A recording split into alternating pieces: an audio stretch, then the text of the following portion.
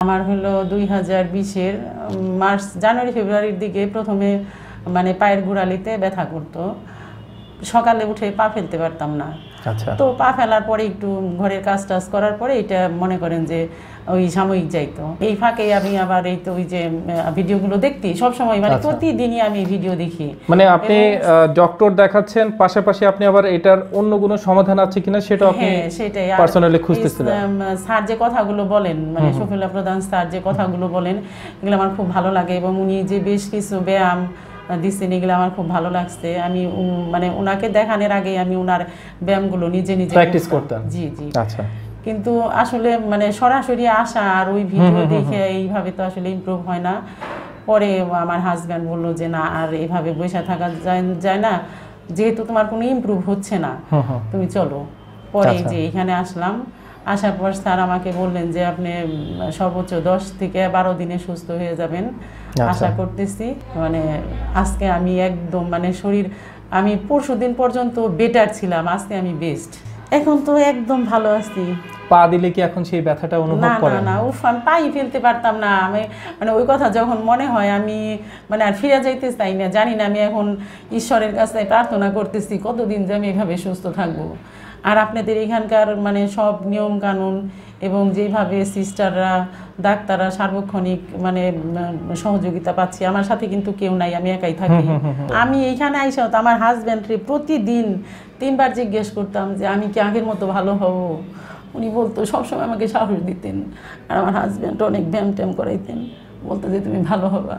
এখানে এসে তো ওদের কাছে সব সময় জিজ্ঞেস করতাম আমার কি ভালো হবে? ওই যে আমার তো হাতগুলো একদম এখন তো ফোলা নাই। আমি যখন এখানে ভর্তি হয়েছি না প্রথম দিকে কিন্তু একদম এরকম ফোলা ছিল। খুবই ফোলা ছিল। হ্যাঁ হ্যাঁ এই- এই- এইখানে এইখানে এখান থেকে একদম ফোলা ছিল। এই যে দেখছেন না আপনি নখ এইরকম ফুলে গেছিল এই যে এখন এগুলো তো একদম রিকভার হয়ে গেছে।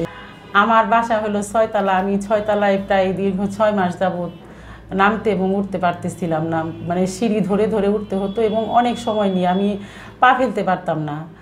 তো আমি নিজেকে মানে পরীক্ষা করার জন্য আজকে আমি এই বিল্ডিংয়ের ছয় সাততলায় আসছি এখন আমি সাততলার থেকে নিচতলা পর্যন্ত দুইবার করে নেমেছি। তাতে আমার কোনো পা ব্যথা হয়নি এবং আমি একদম পুরোপুরি আমার পা সুস্থ আছে। আমি এক সময় মনে করতাম যে আমি হাঁটুতে আর কখনো ভর দিয়ে হাঁটতে পারব না কখনো সিঁড়ি বেয়ে উঠতে পারব না। কিন্তু আমি আজকে একদম পুরোপুরি আমার কোনো সমস্যা হয়নি। আমি যেই যে উঠতে পারছি নামতে পারছি এবং স্যার বলছেন যে আপনি মানে সিঁড়ি পাইবেন আমি মানে নিজের কাছে একদম সম্পূর্ণ হান্ড্রেড পার্সেন্ট সুস্থভাবে আমি উঠতে পারছি এবং নামতে পারছি। কোনো অসুবিধা হয় নাই। একদম সুস্থ। আমি আগে আমি যেরকম ছিলাম, আমার হাত পা এরকম অনুভব করছি। কোনো ব্যথা কিছু ছিল না।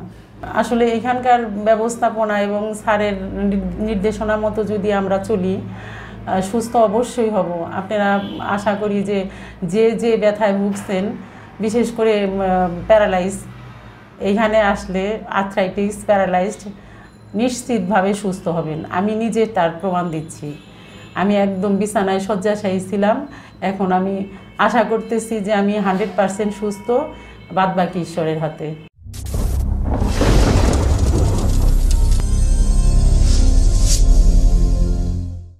আসসালামু আলাইকুম। দর্শক, আশা করি সবাই ভালো আছেন এবং সুস্থ আছেন। মেডিকেল বিডির পক্ষ থেকে আপনাদের সকলকে আবারও স্বাগতম। দর্শক খুশি সংবাদ হচ্ছে আমরা বর্তমানে একবিংশ শতাব্দীতে আছি এবং চিকিৎসা ব্যবস্থা আমাদের এতটাই উন্নত হয়ে গেছে যে আমাদের ম্যাক্সিমাম যে ধরনের সমস্যাগুলো আছে, রোগগুলো আমাদের আশপাশে আছে, ম্যাক্সিমামগুলোরই এই মুহূর্তে আমরা, সবগুলির প্রায় আমরা চিকিৎসা আমাদের হাতের মুঠোয়।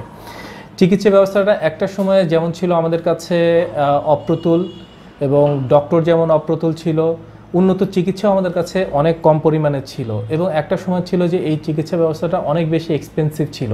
যে জিনিসটা কিন্তু বর্তমান সময় কিন্তু আর নেই। এখন চিকিৎসা চাইলে আমরা যে কোনো সময় যে কেউ আসলে গ্রহণ করতে পারি এবং সেটা খুবই কম খরচে এবং উন্নত মানের চিকিৎসা। এখন চিকিৎসার জন্য আর আমাদেরকে ভিসা করে পাসপোর্ট করে আমাদেরকে আর বিদেশে যাওয়ার প্রয়োজন হয় না। কারণ সেই চিকিৎসাগুলো এখন আমাদের দেশেই বর্তমান। দর্শক আর্থ্রাইটিস এটা এমন একটি রোগ যেটা ধীরে ধীরে ধীরে ধীরে একটা মানুষকে সম্পূর্ণরূপে আসলে পঙ্গু করে দেয়। যদি সেটা সঠিক সময় সেটা সঠিক চিকিৎসা না করা হয়। আমাদের এক বোন, কল্পনা রয়, তার জীবনে আসলে অনেকটা এরকমই একটা ঘটনা ঘটেছিল। এটা প্রায় দুই হাজার বিশ সালের প্রথম দিকে। কি হয়েছিল আসলে ওনার জীবনে এবং কীভাবে উনি এই অবস্থাটাকে পরিত্রাণ পেয়েছেন? আসুন আমরা সরাসরি ওনার মুখ থেকে পুরো বিষয়টা একটু জানার চেষ্টা করব। আসসালামু আলাইকুম। ওয়ালাইকুম আসসালাম। দিদি আমরা জানি আপনার নাম কল্পনা রয় বয়স পঁয়তাল্লিশ বছর। জি। আপনি কোথায় থাকেন এমনি? মানিকগঞ্জ থাকি। মানিকগঞ্জ সদরে জি। আচ্ছা আচ্ছা, আপনি মানিকগঞ্জে থাকেন? জি। আচ্ছা আপনি আপনি কি হাউস ওয়াইফ নাকি আপনি কি করেন আমি সার্ভিস করি। গভর্নমেন্ট সার্ভিস করেন। কোথায় আছেন? মানিকগঞ্জ সদর আমাদের ফিল্ড ওয়ার্ক করতে হয় জাগির ইউনিয়নের উকিয়ারা ব্লকে আছি আমি। আচ্ছা আচ্ছা। আপনি কৃষির সাথে জড়িত। জি কৃষি সম্প্রসারণ অধিদপ্তরে আচ্ছা আমাদের দর্শকদের জন্য কি একটু বলবেন যে কি হয়েছিল আর এটা ঠিক কতদিন আগে প্রথম আপনি এটা বুঝতে পারেন? কি হয়েছিল যদি আচ্ছা, বলেন। আচ্ছা, অবশ্যই। আমার হলো দুই হাজার বিশের মার্চ জানুয়ারি ফেব্রুয়ারির দিকে প্রথমে মানে পায়ের গোড়ালিতে ব্যথা করতো। সকালে উঠে পা ফেলতে পারতাম না। আচ্ছা। তো পা ফেলার পরে একটু ঘরের কাজ টাজ করার পরে এটা মনে করেন যে ওই সাময়িক যাইতো। প্রতিদিন এরকম হয়তো এর জন্য আমি আর কোনো ব্যথার ওষুধ খাইনি। তো আমাদের মানিকগঞ্জ সদরের এক ডাক্তার ছিলেন। উনি হলো আর্থ্রাইটিক্সের উনি রিটায়ার্ড আচ্ছা। তো ওনার কাছে গেলাম উনি ইসলামী হাসপাতাল বসেন।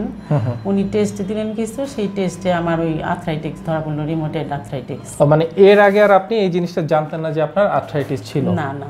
আচ্ছা। পরে উনি আমাকে দুই তিনটে ওষুধ দিলেন এক মাসের জন্য কিন্তু সেটা খেয়ে আমার কোনো ইমপ্রুভ হয়নি। আচ্ছা। পরে আমি আরেকটা ডাক্তারের কাছে গেলাম উনিও রিটায়ার্ড পারসন উনিও আমাকে এক মাসের ওষুধ দিলেন এবং দুইটা টেস্ট দিছিলেন। সেইখানে টেস্টে আসলে কি ধরা পড়ছে উনি আমাকে ওইভাবে বলছিলেন না। আচ্ছা। কিন্তু ওষুধ দিয়েছিলেন এক মাসে সেই ওষুধেও আমার কোনো কাজ হয়নি। আরেকটা ডাক্তারের কাছে গেছি উনি হলো বিজয় সরকার। ওনার ওষুধও খাওয়ার পরে উনি দিছিলেন হলো আপনার কটন তারপরে প্যান্ডামিক আছে একটা। এটা খাওয়ার পরে আমি মোটামুটি একটু মনে করেন যে সাময়িকের জন্য ভালো হয়েছিলাম। আচ্ছা। কিন্তু এই ওষুধ খাওয়া অবস্থায় হঠাৎ করে একদিনকে সন্ধ্যাবেলায় আমি আর কোনোভাবেই হাঁটতে পারতেছিলাম না। আচ্ছা। আপনি প্রথম যেটা বলেছেন যে আপনার পায়ের নিচের দিকে ব্যথা সেই ব্যথাটা কি রেফার হতো? মানে হাঁটুতে আসতো কোমরে আসতো এরকম হতো নাকি শুধুমাত্র পায়ের নিচেই থাকতো? পায়ের নিচে আস্তে আস্তে হাঁটুতে আসতো আর কি। অল্প আচ্ছা, কিন্তু। ওই রকম তখন পর্যন্ত অত হয় ওই যে যে ওষুধ দিছিলেন প্রায় দশ পনেরো দিন খাওয়ার পরে হঠাৎ করে ওই ওষুধ খাওয়া অবস্থায় আমি সন্ধ্যাবেলায় বিছনা থেকে উঠতে গেছি। মানে হইল যে হালকা ব্যথা। কিন্তু সেই ব্যথা হঠাৎ করে এক ঘণ্টার মধ্যে এমন বেড়ে গেল আমি আর ওই বিছানা থেকে উঠতে পারলাম না। আচ্ছা। পরে শেষে আমার হাজব্যান্ড তো সেই উম, আহ, আরও ব্যথার ওষুধ নিয়ে আসলো। ওইটা খাওয়ার পরে এই তিন দিন এরকম ছিলাম মানে ওই ব্যথা প্রচুর ছিল। আচ্ছা। এই মুহূর্তে আমি আবার আপনাদের বিশেষ কিছু ভিডিওগুলো দেখতেছিলাম। আচ্ছা। আসব আসব আশা হচ্ছিল না। এদিকে আমার আবার দাদা আছেন হসপিটালে উনি উনি হিস্টোপ্যাথোলজি ডিপার্টমেন্টের হেড অফ দ্য ডিপার্টমেন্ট আমার দাদাকে বললাম দাদা বলল ঠিক আছে তাহলে ঢাকায় আসো। আমি হসপিটালে ওই করোনাকালীন সময় তখনও করোনাকালীন সময় ছিল। এক ডক্টর দেখাইলাম। ওনার উনিও এক মাসের ওষুধ দিলেন আমাকে। সেই ওষুধ খেয়ে আমার কোনো ইমপ্রুভ হয়নি। আচ্ছা। পরে এক মাস খাওয়ার পরে আবার আমার দাদাকে বললাম কয় তাহলে আবার আসো আবার ডাক্তার দেখাই। পরে আসার পরে এখানে আমাকে ওই এই ডাক্তার সোরওয়ার্দির ডাক্তার বেশ কিছু টেস্ট দিছিলেন। ওই টেস্টও করালাম মেডিকেলের থেকে। আর হলো আপনি মেডিকেলে এক ডাক্তার আসতেন বড়ুয়া। আচ্ছা। উনি অনেকগুলো ওষুধ দিয়েছিলেন আমারে। সেইটা আমার ওই ওষুধ খাইয়ে মানে কোনোই কাজে হয় নাই। মানে আমি যে ওষুধগুলো খাইছি মূলত আমার এই রোগের হয় না জানি না আমি তো আর ডাক্তার না বলতে পারব না। হুম, হুম। তো এই ফাঁকে আমি আবার এই তো ওই যে ভিডিওগুলো দেখতি। সব সময় মানে আচ্ছা। প্রতিদিনই আমি ভিডিও দেখি। মানে আপনি ডক্টর দেখাচ্ছেন পাশাপাশি আপনি আবার এটার অন্য কোনো সমাধান আছে কিনা সেটা আপনি হ্যাঁ সেটাই। personally খুঁজতেছিলেন। স্যার যে কথাগুলো বলেন মানে শফিলা প্রধান স্যার যে কথাগুলো বলেন এগুলো আমার খুব ভালো লাগে। এবং উনি যে বেশ কিছু ব্যায়াম দিচ্ছেন এগুলো আমার খুব ভালো লাগছে। আমি মানে ওনাকে দেখানোর আগে আমি ওনার ব্যায়ামগুলো নিজে নিজে Practice করতাম। জি জি। আচ্ছা। কিন্তু আসলে মানে সরাসরি আসা আর ওই ভিডিও দেখে এইভাবে তো আসলে ইমপ্রুভ হয় না। পরে আমার হাজব্যান্ড বলল যে না আর এভাবে বসে থাকা যায় না। যেহেতু তোমার কোনো ইমপ্রুভ হচ্ছে না তুমি চলো। পরে আচ্ছা। যে এখানে আসলাম আসার পর স্যার আমাকে বললেন যে আপনি সর্বোচ্চ দশ থেকে বারো দিনে সুস্থ হয়ে যাবেন। আচ্ছা। আশা করতেছি। উনি বেশ কিছু টেস্ট দিলেন। মানে আজকে আমি একদম মানে শরীর আমি পরশু দিন পর্যন্ত বেটার ছিলাম আজকে আমি বেস্ট আচ্ছা। আলহামদুলিল্লাহ। তার মানে হচ্ছে আপনি ভর্তি হয়েছেন ভর্তি হওয়ার পরে আপনার ধীরে ধীরে যখন আপনার তিন বেলা করে আমরা জানি যে আপনার যে অ্যাডভান্স রিহ্যাব ট্রিটমেন্ট স্যারের যে বিভিন্ন ধরনের মাল্টিপল যে ট্রিটমেন্টটা এখানে চলে তো। সেটার র্যাপিডলি হওয়ার কারণে আপনি খুব সহজ এবং দ্রুত সময়ের ভিতরে আপনি সুস্থ গেছেন। আপনি গত পরশু পর্যন্ত আপনি হয়তো বেটার ছিলেন বাট আজকে আপনি বলছেন যে আপনি বেস্ট তার মানে আপনি সম্পূর্ণ সুস্থ এবং ভালো আছেন। আপনার সেই হাঁটু ব্যথাটার কি অবস্থা এখন? এখন তো একদম ভালো আছি।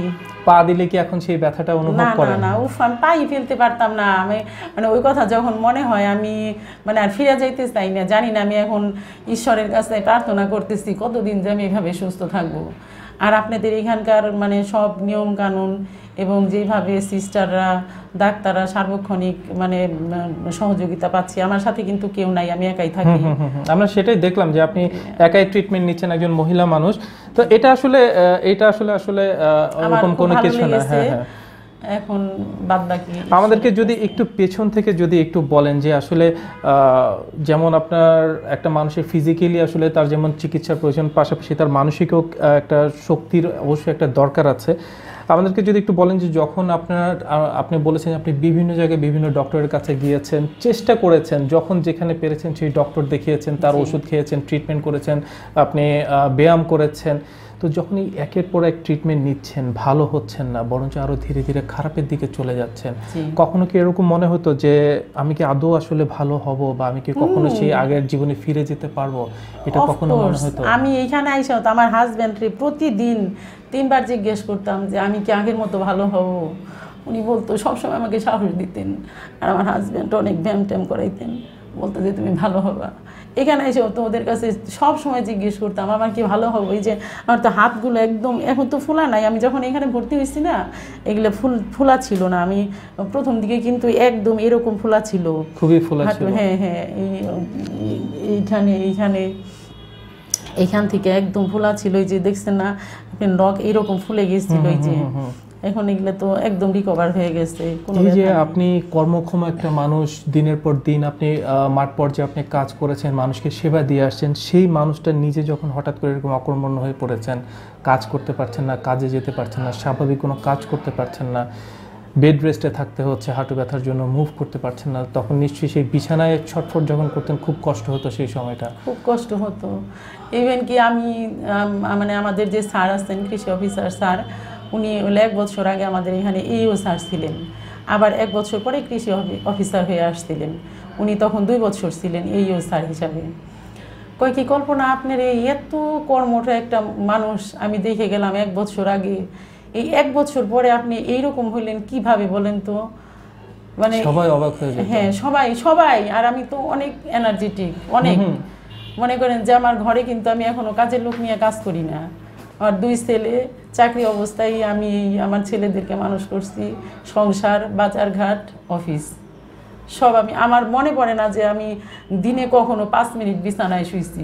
আর সেই মানুষটাই হঠাৎ আমি সেইটাই ভাবতে পারি না যে আমি আমি কিন্তু দিনে ফিল্ডে গেলে মনে করেন যে তিন থেকে চার ঘণ্টা আমার হাঁটতে হয়। আমি ইচ্ছা করি রিক্সা নিই একজন মহিলা হিসেবে সেটা অবশ্যই অনেক অনেকটুকু। সবাই দেখলে খালি অবাক হয়ে যায় কল্পনা তুমি এরকম হয়েছো কীভাবে? কীভাবে এরকম হয়েছো? তুমি তাড়াতাড়ি চিকিৎসা করো, তুমি ভালো হবা।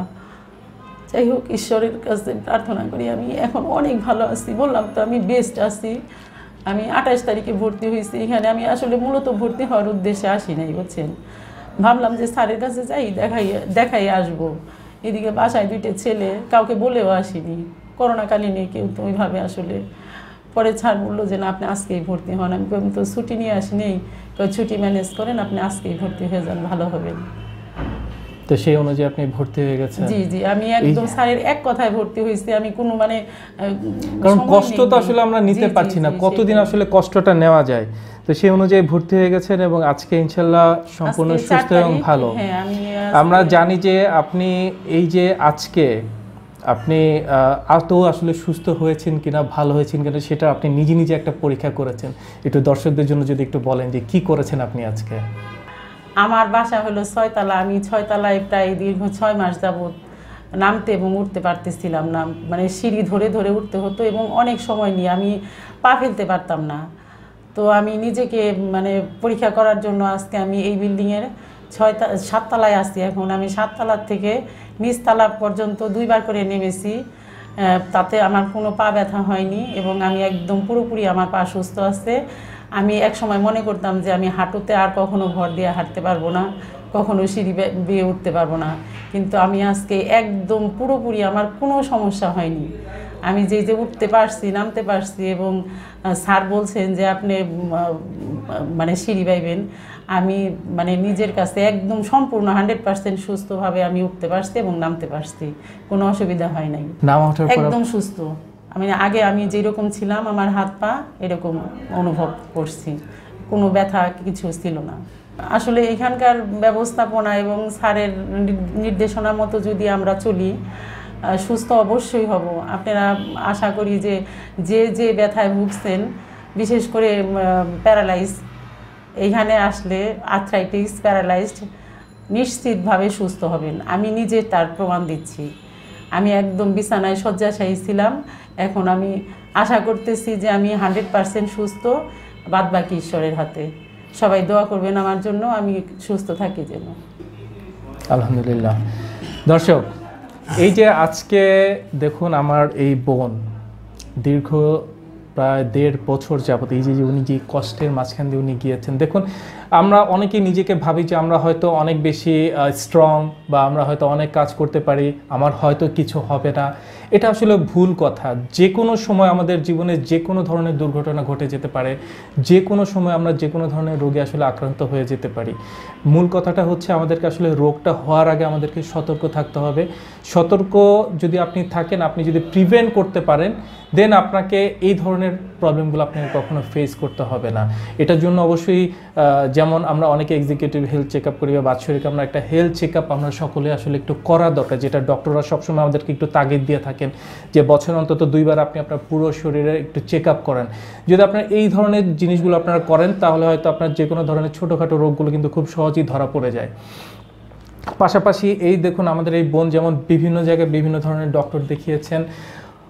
আমরা বলব না তারা খারাপ বা তাদের কাছ থেকে উনি ভুল ট্রিটমেন্ট পেয়েছেন। হয়তো ওনার জন্য যেটা দরকার ছিল স্পেসিফিক সেটা হয়তো উনি সেই সময় উনি হয়তো পাননি, যেটার কারণে ওনার অবস্থাটা আরও বেশি খারাপ অবস্থা চলে গিয়েছিল।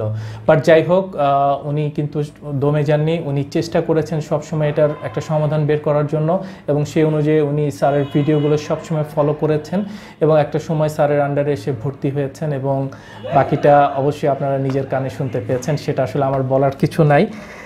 আমরা চাইব আমাদের দেশের প্রতিটা মা, বোন, ভাই, আত্মীয় স্বজন যারা আছেন, কেউ যাতে আর একদিনও তাদের কষ্টের কারণে, ব্যথার কারণে ডিসাবিলিটির কারণে তাদের চোখ দিয়ে একটা ফোঁটা পানি না বের হয়। সেই কষ্টের সেই ফোঁটা পানি আমরা কেউ দেখতে চাই না। আমরা সবসময় তাদের চোখে হাসি দেখতে চাই। আমরা কাঁদবো অবশ্যই আমাদের অন্য কষ্টের জন্য। আমরা এই ব্যথাজনিত কষ্টের জন্য আর একটা মানুষকে আমরা কাঁদতে দিতে চাই না। আমাদের হাত সবসময় আপনাদের দিকে বাড়ানো আছে।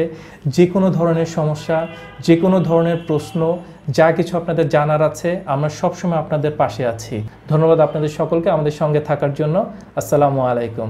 দিদি আপনাকে অসংখ্য ধন্যবাদ। আপনার এই যে মূল্যবান মতামতগুলো আপনি শেয়ার করেছেন অসংখ্য মানুষ এর থেকে অনেক কিছু জানতে পারল এবং উপকৃত হলো। আসসালামু আলাইকুম। ওয়ালাইকুম আসসালাম। আপনাকেও ধন্যবাদ। আমার জন্য দোয়া করবেন এবং সবাই আমার জন্য দোয়া করবেন যেন আমি সুস্থ থাকতে পারি।